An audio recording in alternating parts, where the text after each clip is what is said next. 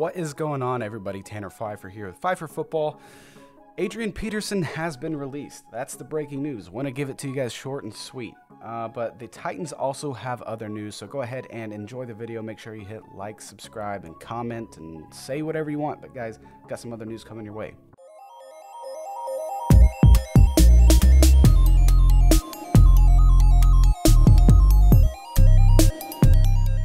Anyways, guys, the Titans have also in correspondence, I guess you could say, to releasing Adrian Peterson, who is 36 years old. They've also signed wide receiver Golden Tate to their practice squad.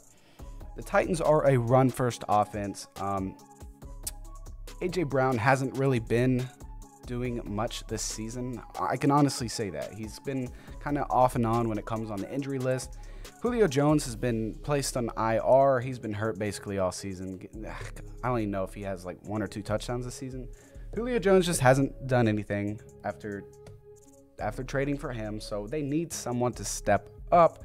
I believe they had somebody uh, this last game had over 100 yards receiving. I don't know the name of the receiver, but I did see it in like the fantasy stats. But guys, I just want you to tell me your thoughts below. Do you think Golden Tate is a good fit for this kind of offense in this really run-heavy schematic offense that the Titans run? I just don't see the Titans as a playoff contender. I mean, they're going to be playoff contenders, but I don't see them as a Super Bowl contender. Never have, probably never will as long as Ryan Tannehill is there. Um, but guys, I want you to tell me your thoughts down in the comments below. Thank you so much for watching. I will see you later.